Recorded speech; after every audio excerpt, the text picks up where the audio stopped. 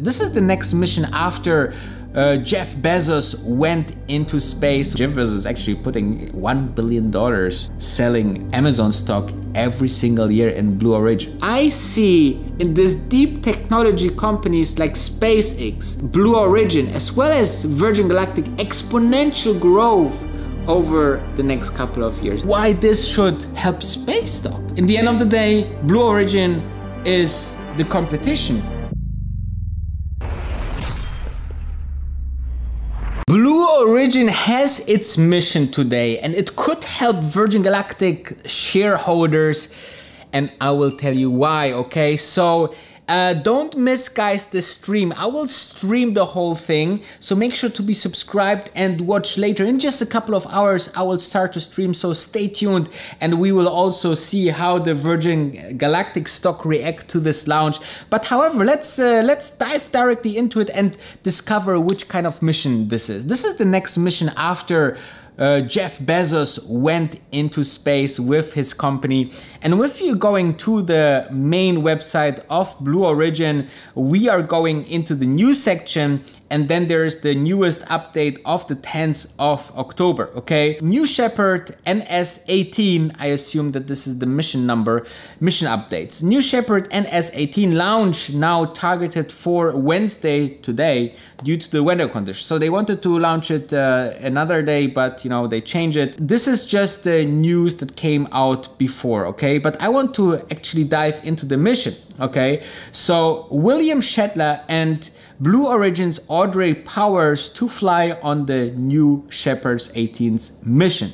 There we have it, 18th mission, okay? So guys, they're also kind of advanced in their I mean, they're not so advanced like SpaceX due to the technology and, uh, you know, I would say Virgin Galactic and Blue Origin in terms of knowledge and uh, expertise, I think they are approximately the same. Maybe you know one or the other arguably is a little bit better, but you know in terms of uh, cost effectiveness, uh, Virgin Galactic is way better. Okay, they didn't put that much money like Jeff Bezos. Jeff Bezos is actually putting one billion dollars selling Amazon stock every single year in Blue Origin. Now, uh, let's dive into it. So today, Blue Origin announced actor William Shatner. You know, you might know him from uh, from Star Trek, I think. And Audrey Powers, Blue Origin Vice President of Mission and Flight Operations.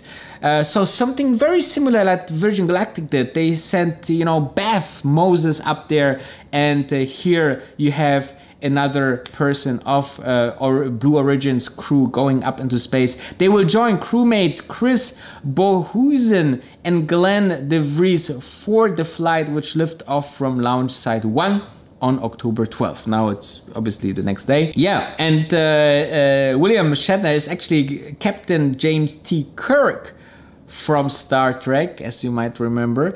And uh, Audrey Powers uh, joined the Blue Origin in 2013 and is doing the um, what she's doing.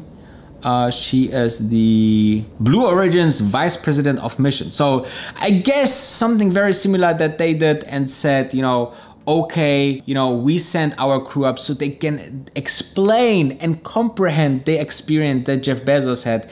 And actually, there's two more guys here. Blue Origin announced next customer's flight. And the, the interesting thing is that they call it customers. So did they pay for it? Because if you're then looking into the people, the one guy is uh, Dr. Chris Boshuizen, a former NASA engineer so I don't know. He's also co-founder of Planet Labs. I haven't heard about it. Do he has really the money to go into space? Do does he pay for the ticket? We don't know. Okay? Maybe it's you know, a kind of friends of Jeff Bezos, or, you know, he has something to do already with the space industry. So we don't know. It's not yet confirmed. And while Blue Origin is a private company, they don't need to explain, okay, if these are really customers or those are just test persons. Okay, could be one of the first investors into Blue Origin. It could be a lot of things, a lot of speculation. We don't like speculation. So the other guy is Glenn DeVries, Vice Chair Life Science and Healthcare of uh, Dassault Systems and co-founder Medidata. Okay, also I haven't heard about that. So he just saying this is fulfillment of my greatest childhood dream More importantly, though, I see the flight as an opportunity to inspire students to pursue careers in STEM and catalyze the next generation of space explorers. After all, our future of life in space is in their very capable hands. So, not really mentioning just some regular statements. So, I don't know if they paid for it or not. If you find something, let me know in the comments. But let's dive into why this should help space stock. In the end of the day, Blue Origin is the competition or is it not? So why the hell should the flight of Blue Origin help space stock today? Well, it's very easy, okay? First of all, the space industry is very, very small, right? I mean, we have seen SpaceX. We have seen now uh, SpaceX to, to just go a little bit deeper into that. We saw the Inspiration 4 mission. We saw the first Dragon mission. We saw so many satellite launches. There's even more launches of SpaceX that everybody, you know, know of, right? I mean, every few days they are shooting up a rocket. It, it became like a normal. But every now and then there's a big, uh, you know, kind of event for this company as well, obviously. And this helped in the past Virgin Galactic as well because you know it's very very interconnected. Same also with Blue Origin, okay? Blue Origin and SpaceX and Virgin Galactic are currently the most leading space companies out there that's transporting people into the suborbit and orbit, okay? So this means that if it works over and over and over and over and over and over again, then we might be onto something, right? That means that actually more and more people that are not so convinced yet about the space industry might change their mind, might invest, and this just gives also attention, okay? If you have the best company on earth, but nobody knows about, well, then, you know, the chances that the stock goes higher are not so great versus a company that is always in the news or an industry that is always in the news. Look, for example, for what happened to Tesla. Tesla was from the very beginning a very big statement. We are going electric, and everybody laughed. Okay, what what about electric? We want to drive our cars gasoline, you know, they are not even nice where do you charge them and everything changed. And i think this will happen to the space industry as well. Not today not tomorrow maybe even not in 5 years.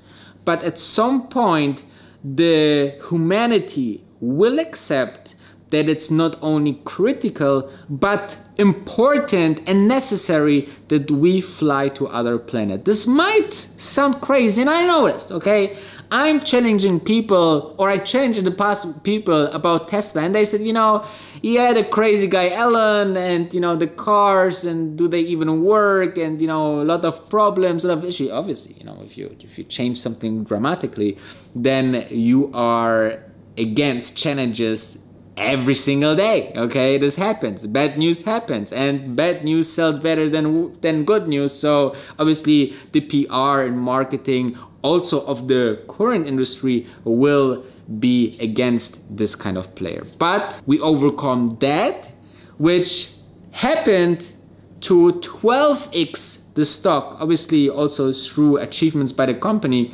But I see in these deep technology companies like SpaceX, Blue Origin, as well as Virgin Galactic, exponential growth over the next couple of years. There's a good reason that these billionaires are putting their money there because there will be huge demand for transportation, for tourism, whatever the space industry will give us, we will be dying to do that, all right? And it sounds crazy at first, like it always does, okay, with the internet. Even when electricity was invented, it sounds crazy, okay? This is actually an advertising of electricity back in the day. People thought this is the end of humanity. We want to keep on having candles on our door and on the streets.